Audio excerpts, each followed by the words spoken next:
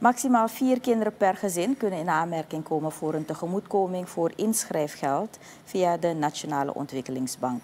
Dit vertelde Rabia Abdulrahman, manager Human Capital Credits bij de financiële instelling. Ze geeft aan dat het gaat om leerlingen en studenten van de openbare VOS-scholen, HBO-scholen en de universiteit en LOBO-instellingen die in aanmerking kunnen komen. Tegemoetkoming is als volgt onderverdeeld. Voor het eerste kind 20%, voor het tweede kind 25%, voor het derde kind 30% en voor het vierde kind 35%. Maar dat krijg je dus achteraf terug. Je moet je eerst inschrijven en daarna kom je bij ons, vraag je aan en kun je het geld terugkrijgen. De doelgroep, de leerlingen van de openbare VOS-scholen en de bachelorstudenten van de Anton Universiteit, IUL, PTC, AHKCO, LOBO en het Conservatorium Suriname.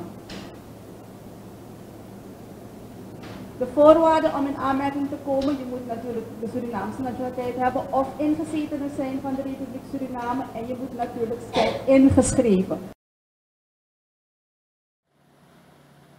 Bij het aanvragen van de tegemoetkoming moet het inschrijvingsbewijs aangetoond worden. Abdul Rahman geeft verder aan dat de afhandeling van de aanvraag maximaal twee weken duurt. Je gaat je, je inschrijfbewijs moeten tonen. En hoe vraag je hem aan? We hebben een aanvraagformulier, die kun je van onze website halen, www.nob.sr. Je mag hem invullen, mailen naar info.nob.sr, maar je mag hem ook persoonlijk bij de NOB indienen.